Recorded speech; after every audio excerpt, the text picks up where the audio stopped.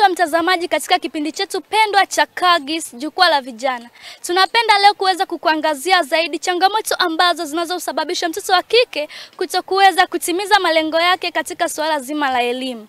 Mimi ni mtangazaji wako Mariam, napenda kukuletea mashujaa mbalimbali ambayo tutakwenda kuangazia changamoto hizo na namna ambavyo tutaweza kuzikabili ili kuweza kutimiza malengo yetu sisi kama wasichana. Karibu, ungana nami.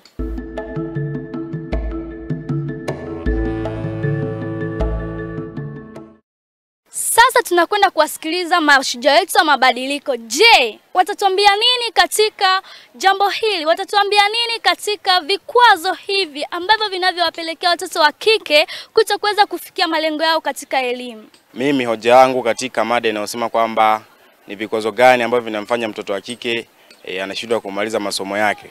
Kikwazo ambacho mimi nakiongelea hapa ni swala la mila potofu. Mila potofu ni ile kwamba familia fulani inaamini kwamba mwanao akifikisha pengine labda ni miaka saba au nane anatakiwa aweze kuolewa. Sasa ile inamfanya mtoto eh, anaacha kujisomea na kwenda kwenye ndoa yake. Hawa wasichana wanapokuwa shuleni wanapata vikwazo mbalimbali ikiwemo na umbali mrefu kutoka nyumbani hadi shuleni. Msichana anapokuwa anatoka nyumbani hadi shuleni anakutana na vikwazo mbalimbali. Hicho kikwazo kinaweza akawa anatoka Kikwazo kingine ni pamoja na kuna vishawishi mbalimbali ambavyo mtu anaweza kutumia udhaifu wako ili kuweza kukatisha malengo yako. Vidhaifu hivyo pamoja na mtu unakuta umekosa kitu fulani, tuseme kwa mfano madaftari. Umekosa madaftari, inabidi ufanyeje? Mm, unajiuliza, ah, kuna mtu mmoja aliniambia kitu fulani na fulani. Kwa hiyo inabidi niende nikafanye kitu hiki ili niweze kupata ili daftari. Kwa hiyo unaenda kufanya, kwa hiyo inatokea unaweza kupata hata ujauzito. Ile ule unavyopata ujauzito ukiwa katika masomo yako unakatisha malengo yako. Kwa hiyo unaanza ukipata ujauzito pale unalea mimba ukiwa nyumbani, inatokea labda unafukuzwa hata nyumbani. Unaenda unatangatanga mitaani. Kwa hiyo unazidi kuwa mtoto wa mitaani pale unatangatanga mpaka una, una, unakuja kujifungua, unaanza kufikiria ah, ningekuwa shule hapa ningekuwa nasoma. Kikwazo cha kwanza ni mfumulika. Mfumulika unaweza kwa msichana kipindi ameanza kubalei, waga inapelekea anajiona kama amekuwa yeye, akiambiwa na wazazi hataki, mwalimu akimpiga na mgunia, ndio waga unapelekea anaacha masomo yake, uende kutafuta hela, anajikuta amekuwa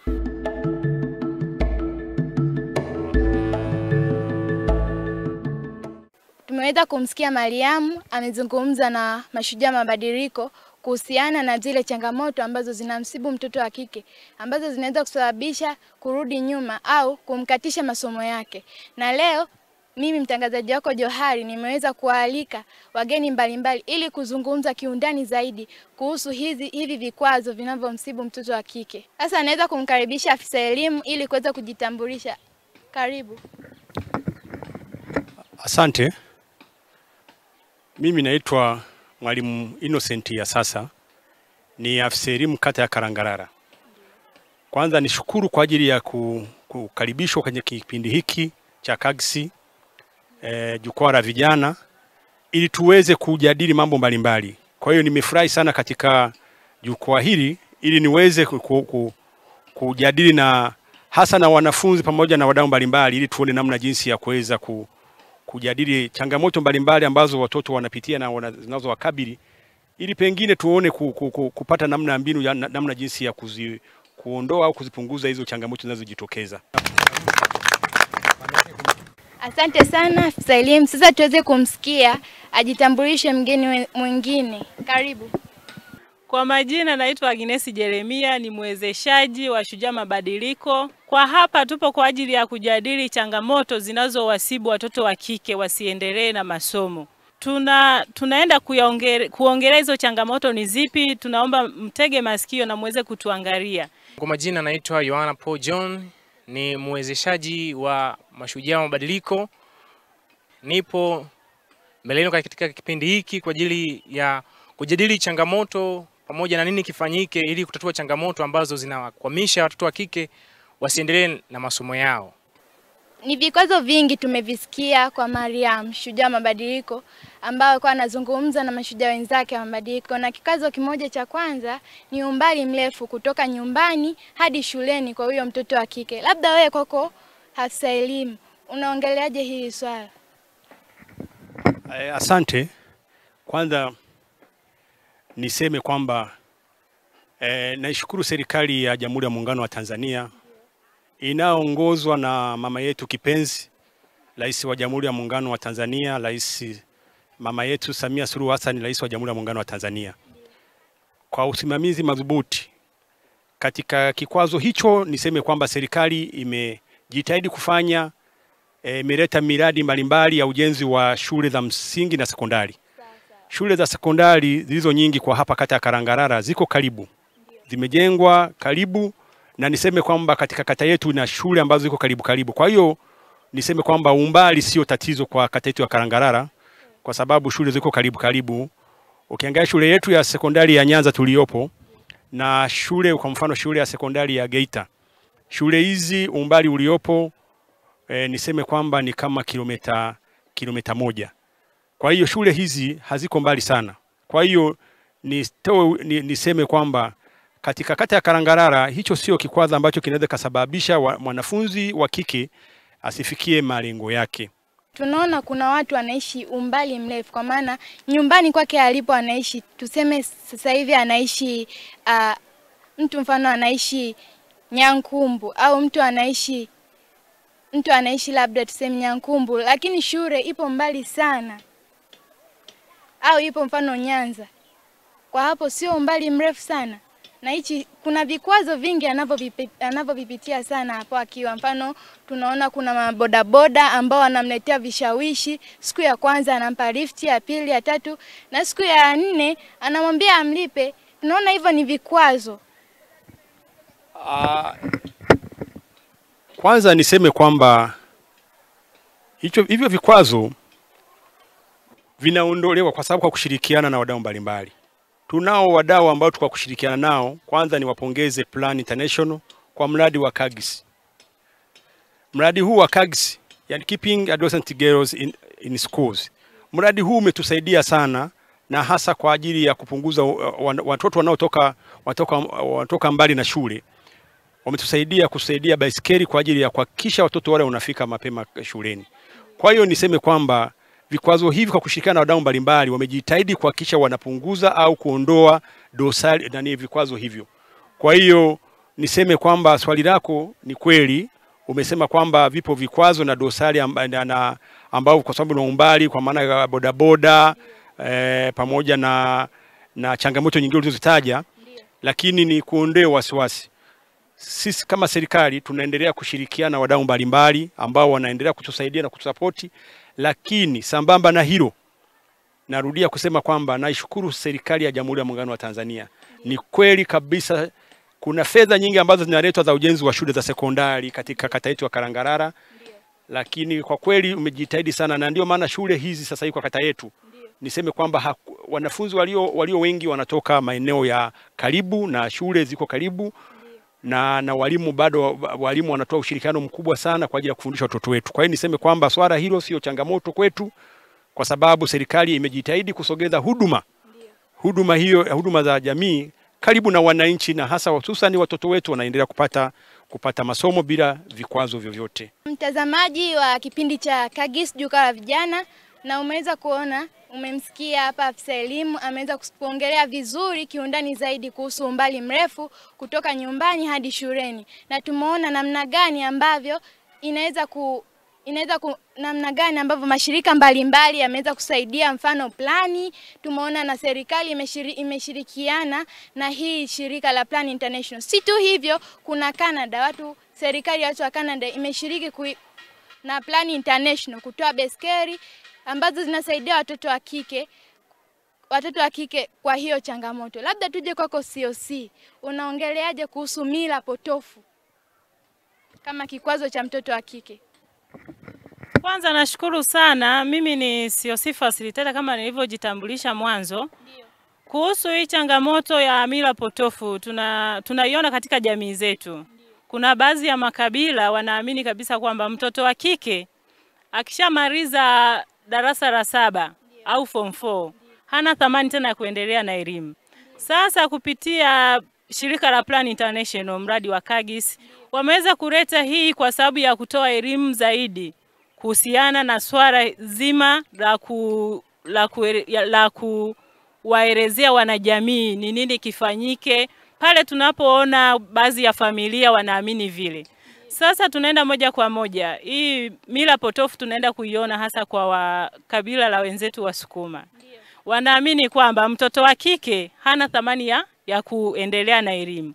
Ina maana akishamaliza la saba ana uwezo wa kufanyaje wa kuolewa. Wenyewe hawajui cha kwamba wanamwozesha akiwa katika umri mdogo. Kwa hiyo hii mila na desturi tu, tumeweza kuitolea elimu kupitia mradi wa kagisi jinsi walivyoeleza. Tumeitolea elimu na jamii naamini kabisa wameweza kupokea hili swala. Tunapambana nao kadiri ya uwezo wetu, tunatoa elimu kwamba mtoto wa kike anapoolewa katika umri mdogo, kuna changamoto ambazo anaweza akazipata hasa wakati wa kujifungua. Mtoto wa kike anapojifungua ana uwezo wa kupoteza maisha pale ambapo amebeba ujauzito kabla ya wakati. Vile vile mtoto wa kike anapoolewa katika umri mdogo anaweza akaleta kwenye familia akawa ni tegemezi. Kwa nini anakuwa tegemezi? Ni pale ambapo tunaona inategemeana ameolewa na mwanaume wa design gani, lakini asilimia kubwa mtoto wa kike anavyokuwa kwenye ndoa hawezi akakea ndoa yake kama inavyotakiwa, kama mtu ambaye ni mtu mzima naye ambaye ana, ana ruhusa ya kuolewa. Yule anakuwa ni mtoto mdogo, hawezi akatoa mawazo zaidi. Kwa hiyo inampelekea kwenye ile familia yake aliyetengeneza ikaleta changamoto. Kwa hiyo akishaleta changamoto, maendeleo hayatakuwepo kwenye familia. Kwa hiyo anajikuta wanachana, yule mtoto anarudi wapi? Anarudi kwao. Kwa hiyo inakuwa anakuwa nitegemezi kwao, kwa sababu ameshakatishwa na nini, ndoto yake ya elimu, hajapata elimu. Kwa hiyo pale tayari ameshakuwa nini, tegemezi. Kwa hiyo tunaiomba jamii, kwanza tunashukuru sana katika jamii yetu ya Jamhuri wa Muungano wa Tanzania inatekeleza hili swala sehemu mbalimbali. Kwa hiyo tunaiomba jamii kupitia mradi wa Kagis, tunawashukuru Plan International kupitia mradi wa Kagis wameleta hii elimu ili kuweza kuwasa, kuwasaidia watoto wa kike kuweza kufanyeje kufikia malengo yao. Kwa hiyo sisi kama wawezeshaji tunatoa hizi elimu sehemu mbalimbali mashuleni na kwenye jamii. Tunaamini kabisa wale wanaotusikiliza na wale wanaozifikia elimu zetu watabadilisha mawazo. Kama alikuwa na ratiba ya kumwozesha mtoto wake katika umri mdogo, kupitia hii elimu ata, ataweza kujua umuhimu gani mtoto wa kike anatakiwa aupate ili aweze kufikia malengo yake. Asanteni. Na mtazamaji, bado tunaendelea kuzungumza kuhusu hizi changamoto au hivi vikwazo vinazomtokea mtoto wa kike. Tumeweza kumsikia afisa elimu, tumeweza kumsikia COC ambaye ni shujaa mabadiliko. Sasa tumsikie COC mwingine ambaye ni shujaa mabadiliko. Karibu. Asante kwa nafasi hii. Tunaweza kuongelea changamoto ya vishawishi. Tunaona kwamba katika jamii wameweza wanafunzi wameweza kuongelea vishawishi ni chanzo au changamoto moja ambayo inaweza kuwakuta watoto wa kike katika zoezi zima la wanapokuwa wakitafuta elimu. Lakini mi ningeongelea zaidi nini kifanyike katika changamoto hii. Tunaona kwamba vishawishi ni vingi, lakini vishawishi vina vinapotokea lazima kiwepo chanzo cha vishawishi. Tunaona kwamba kuna wengine wanashawishiwa kwa sababu wazazi wao wajawekea msingi mzuri katika kupata elimu. Mfano bajeti, unakuta katika familia bajeti ndogo, na hii inapelekea mtoto wa kike anapofika maeneo ya shuleni anaona kwamba mahitaji yake hayakidhi, anakutana na vishawishi mbalimbali ambavyo anakutana na vijana wanaweza wakamlubuni. Sasa nini kifanyike ili hivi vishawishi viweze kupungua? Cha kwanza naona kwamba elimu iweze kutolewa na kingine tuweze kuwajengea ujasiri wa kuweza kukatana na kusema hapana. Tunaona kwamba tukiweza kuwajengea watoto wa kike ujasiri, wanaweza kusimama hata kama akiwa peke yake na kusema hapana.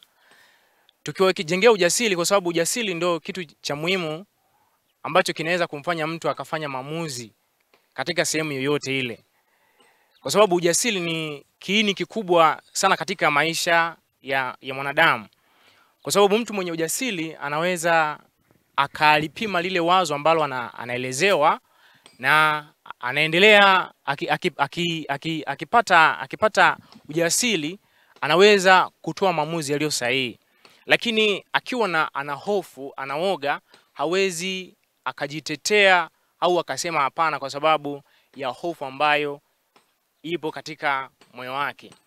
Lakini vishawishi hivi pia tuangalie na familia zetu na wazazi waweze kuwasaidia watoto kuwaonyesha mtazamo wa mbele kwamba anas, mtoto wake ajue kwamba anasoma na malengo gani. Kuna familia nyingi za, za Kitanzania watoto wanapelekwa ili mradi wameenda shuleni, lakini mzazi ajui kwamba mtoto wake ana malengo gani. Ukiuliza kwa tathmini hata ya familia nyingi, tunaweza kuona kwamba kuna wazazi ambao wanawasomesha watoto lakini hawajua hawajui kwamba watoto wao wana malengo gani katika elimu wanayoisoma. Hivyo ndio inapelekea kwamba mtoto anakuwa hakaguliwi wala ulizi chochote, na maana anajiongoza yeye mwenyewe. Kwa hiyo akikutana na, cha, na, na, na changamoto mbalimbali zinaweza zikampitia, lakini kama lakini kama anaweza akawa anajisimamia, ataweza kukwepa vishawishi.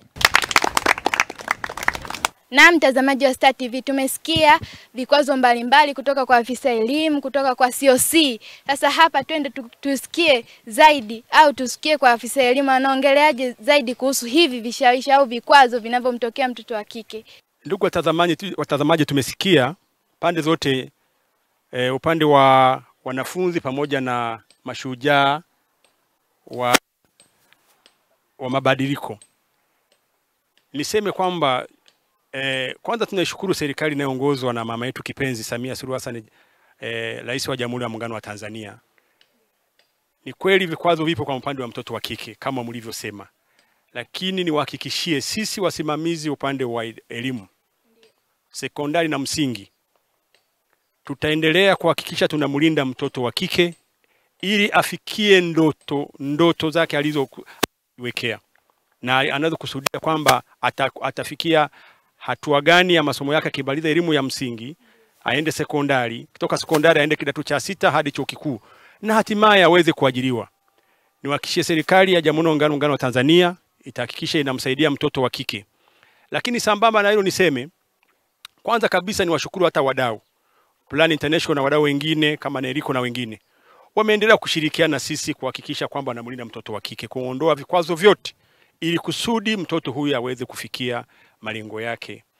Na sambamba na hilo e, pia na serikali yetu imejitahidi, na ndio maana kuna waraka uliotolewa na serikali yetu kuhakikisha kwamba mtoto wa kike anapopata ujauzito akijifungua anaweza kurejea shuleni, na sasa hivi wanafunzi tunawapokea kwenye shule zetu baada ya kuwa wamejifungua, wanarudi watoto wa kike wanarudi kwa ajili ya kuendelea na masomo yao, ili kusudi mtoto huyu wa Tanzania afikie ndoto zake. Na ni kweli wapo watu ambao wanafanya vizuri kwenye mitihani yao na hatimaye wanafaulu na hatimaye wanaendelea na, na masomo yao. Kwa hiyo niondoe wasiwasi, ndugu zangu watazamaji, ni kwamba serikali inayosimamiwa na rais wetu Mama Samia Suluhu Hassan, rais wa Jamhuri ya Muungano wa Tanzania, itaendelea kuwasaidia watoto wa kike wafikie malengo yao, na ndiyo maana mpaka sasa fedha nyingi zatoka serikali kuu zinakuja kwa ajili ya kuhakikisha zinapunguza umbali mrefu kwa watoto wetu wa kike ili waweze kusoma katika mazingira rafiki na wezeshi ili waweze kufikia ndoto, ndoto, ndoto zao. Na washukuruni sana, asanteni kwa kunisikiliza. Asante sana. Uh, afisa elimu, nimesikia kwamba mtoto wa kike anapata vishawishi mbalimbali, anapata changamoto mbalimbali, wazazi hawampi ile sapoti, lakini mimi nilikuwa nataka kujua ni wasia gani au ni kitu gani ambacho unaweza kumwambia mtoto wa kike akifanye na yeye kama yeye, ili kuka, mfano akikabiana mfano na kishawishi chochote afanye nini? Asante sana Johari, kweli nimefurahishwa sana na, na binti yangu Johari, mwanangu, una maswali mazuri sana na ni kweli umetamani kwamba eh, ili warau nyie wanafunzi, ili muweze kusoma vizuri, muondokana hivyo na muondoka- muondokana hivyo vishawishi. Mimi niseme kwanza kabisa ni wa, niwaambie hakikisheni mnakataa vi, vi, vi, vi, vishawishi vyote ambavyo mtakutana navyo. Ni kweli dunia hii imebadilika, kuna mambo kadha wa kadha yanayojitokeza, na hasa hasa hususani hasa vijana. Hakikisheni mnakataa, mnakuwa na misimamo yenu, lakini kimsingi kingine ambacho natoa wito kwenu wa, wa, wa, wanafunzi, hakikisheni mnakwenda mna, mna, mna, mnaenda muna, muna, mnaenda kama misikitini na kanisani. Ili walau muweze kupata maad- maadili mema, mpate mafunzo ambayo atawasaidia kutoka kwa mashehe pamoja na wachungaji na mapadri, ili wa, waweze kumweza kuwa na malezi bora, lakini sambamba na kusikiliza wazazi yale ambayo mambo ambayo wanawashauri mambo mema kwa ajili ya kuhakikisha yanawasaidia kwa ajili ya kufikia ndoto zenu. Kwa hiyo ni kuhakikishie eh, eh, jo, Johari, ni kweli umeuliza swali zuri kwamba ungelipenda angalau ufikie ndoto ambazo kwa kweli ndio hasa ambalo ndio maana umekuja huko shuleni unasoma. Kwa hiyo nitoe wito kwenu, hakuna haja ya kukimbilia mambo ambayo yanakuzidi umri. Zipo anasa ambazo ziko hapa duniani, achana nazo. Hakikisha wewe unajiwekea malengo yako na target ambayo Mungu amekusaidia na umepata fursa ya kuendelea kujifunza na kusoma, ili walao siku moja uone umefikia ndoto zako, na tutafurahi sana Johari, kama unavyomwona mama rais wetu ni mwanamke. Tungefurahi kukuona hata wewe ukipata nafasi serikalini, ukifanya kazi mbalimbali, mbali, ukiwa na nafasi, si ndio Johari? Eh, si ndio Johari? Ndio. E, walao basi unaweza nawe ukafikia nafasi nzuri, ukawa hata daktari bingwa, ukawa hata waziri, ukawa mwalimu, hata mimi hapa ukawa kama afisa afisa elimu kama mimi. Kwa hiyo nitafurahi kabisa kwamba wanangu um, mkatae, nitafurahi kuja kuona kwamba wanangu na nyinyi mmefikia ndoto zenu na nyinyi mmepata nafasi, mmepata ujuzi na maarifa kwa ajili ya kuhakikisha mnaisaidia taifa hili la kesho. Asanteni sana kwa kunisikiliza. Na hapa kwa mwisho, unatoa hosia gani kwa jamii yetu? Kwa kumalizia, labda hosia gani unatoa kwa jamii yetu, wafanye nini au washirikiane naje na huyu mwana na huyu mtoto wa kike? Asante sana Johari. Johari, uko kidato cha ngapi? Cha tatu. Uko vizuri Johari. Ni kweli, kwanza nimefurahi kwa kweli, wewe Johari uko vizuri na ni mdadisi kwa kweli, unauliza maswali. Niseme, nitoe wito kwa jamii. Ni kweli kama serikali itatekeleza majukumu yake, lakini nitoe wito hata kwa, kwa, kwa ja- ja- jamii pamoja na mashirika mbalimbali mbali, kuendelea kushirikiana na serikali ya Jamhuri ya Muungano wa Tanzania kuhakikisha tunaondoa tunamwondolea vikwazo mtoto wa kike ili afikie ndoto zake. Ni kweli kabisa, kuna mashirika ambayo yanashirikiana na serikali, mfano shirika la Plan International. Nitoe shukurani za dhati kabisa kwa namna kipekee wanavyoendelea kushirikiana na serikali ya Jamhuri ya Muungano wa Tanzania kuona kwamba wanamwendeleza mtoto wa kike. Tunaziona jitihada mbalimbali ikiwemo utoaji wa vifaa vya kufundishia na kujifunzia. E, tumepokea vitabu kwa ajili ya watoto wetu, lakini sambamba na hilo tumeona baisikeli zikisaidia watoto wetu wanatoka umbali mrefu kwa ajili ya kuja shuleni. Kwa hiyo nitoe wito tuendelee kushirikiana na serikali ya Jamhuri ya Muungano wa Tanzania inayoongozwa na mama yetu kipenzi Samia Suluhu Hassan, rais wa Jamhuri ya Muungano wa Tanzania. Nina uhakika serikali ya mama ambayo inaongozwa na jemedari mama yetu itafikia malengo ya kuhakikisha inamkomboa mtoto wa kike. Hatimaye watoto hawa ambao ni taifa la kesho watafikia ndoto zao na tutapata wataalamu ambao wataisaidia nchi hii. Kwa hiyo niwashukuruni sana kwa kweli, na nikushukuru Johari, na nimependa sana maswali yako unayouliza. Ni kweli, nikutakie kila la heri katika masomo yako, na nina uhakika utakwenda kupata mafanikio, ila mtangulize Mungu, endelea kushiriki ibada, ukienda msikitini, ukisikiliza hata ushauri kutoka kwa wazazi, na uwasikilize pia na walimu, walimu ambao watakuwa ni walezi wako wa kujengea msingi ulio bora, na hatimaye uweze kufikia mafanikio ambayo mafanikio haya yatatokana na jitihada na katika masomo yako. Nakushukuru sana Johari. Kwanza niseme amin kwa dua zako ulizonijalia, na mimi pia nitaweka nguvu kubwa katika masomo yangu.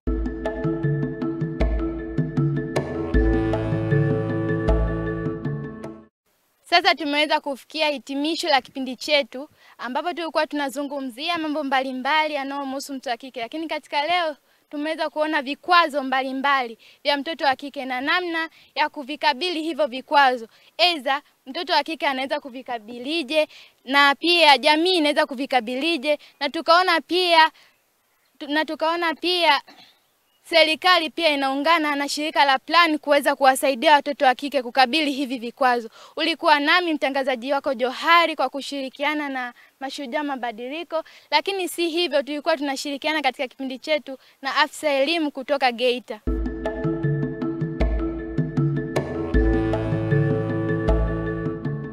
Na sasa nimefikia tamati katika kipindi chetu. Ulikuwa nami mtangazaji wako Mariam Kagis.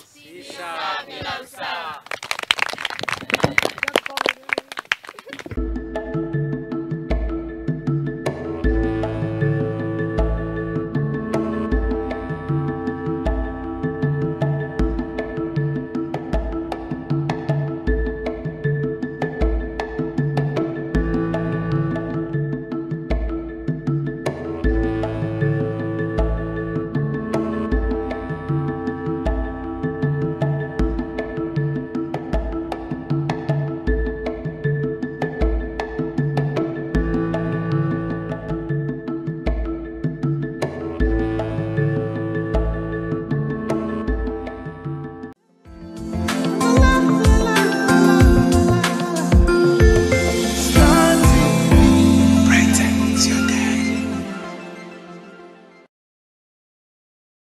amesababisha kakangu mpaka leo anakula majalalani? Achana naye bana. Hii, yani kaina ntungo chawi sano?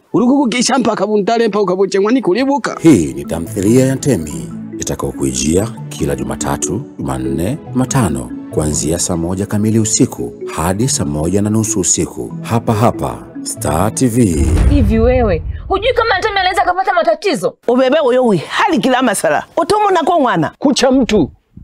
Kucha redio nachako Kamkunguta, unajua kampiga. Mikasa, Yaani mjomba, leo umenifurahisha kuliko siku zote. Kwa nini hujawahi kumtimua hivi? Hili ndilo kambi la jeshi litawalipua. mapenzi, ucheshi, Umeleta hapa wa mwanamke wangapi kama wewe ni mwanamke? Nakuuliza, pumbafu ankimebe, mfa wewe. Heh. Ntemi ni raha juu ya raha. Jicho ni tamthilia inayozungumzia uongozi bora na mapenzi. Ni mwanamke unaweza ukawa unapambana hivyo hivyo. Nina muda yaani kabisa kabilipia miaka miwili na sehemu hatujakaa kikao. Nampenda kuliko maelezo, yani kuliko Mateso anapendwa na mabinti wawili. Nani atafunga naye ndoa? Yupo sawa, yupo sawa, Mimi siko sawa, mimi akili zangu haziko sawa. Bibi na Rasta wanafikia pabaya. Siku zote usiku huwa na giza.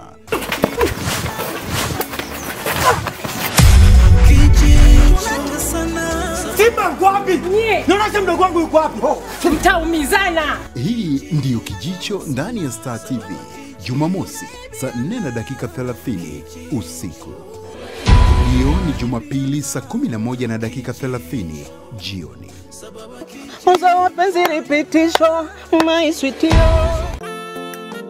Msimu mpya wa wito wenye baraka umewadia kukuletea mafundisho kutoka katika kitabu cha Ufunuo yenye ujumbe unaosema mfalme wa wafalme anakuja, tujiandaye kumpokea. Mahubiri haya yanayoendeshwa na mwinjilisti Andrew Chikwanda, mkurugenzi wa shirika la Gilgal Redemption Ark mkoani Njombe, katika viwanja vya Gilgal Mission Schools. katika kitabu cha Danieli mbili, Danieli saba juu ya falme zitakazotawala dunia. Tunaposema falme zinazotawala dunia ni zile zilizokuwa na mamlaka kwa mataifa ya duniani. Mahubiri haya yatakujia kupitia kituo chako pendwa cha Star TV, bila kusahau mitandao yake yote ya kijamii. Ni kila siku ya Ijumaa, Jumamosi na Jumapili, kuanzia saa moja kamili usiku mpaka saa mbili kamili usiku. Njoo tujifunze na kusifu kwa pamoja.